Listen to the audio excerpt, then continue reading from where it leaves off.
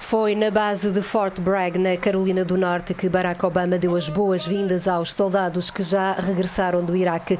Uma cerimónia que marcou simbolicamente o final de nove anos de um conflito que causou muitas baixas militares e muitos danos à imagem dos Estados Unidos. O regresso das tropas é também uma promessa de campanha de Obama. Enquanto vosso comandante supremo e no interesse de uma nação agradecida, tenho orgulho em pronunciar estas duas palavras e sei que as vossas famílias concordam. Bem-vindos a casa. Welcome home. Welcome home.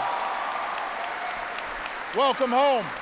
Até ao dia 31 de dezembro, os últimos 5.500 soldados estarão de regresso a casa. O fim da missão no Iraque vai permitir a Washington concentrar-se mais na situação do Afeganistão e nos problemas económicos do país. O presidente espera ainda tirar proveito político para as presidenciais, ainda que o fim anunciado do conflito continue a suscitar grande debate político.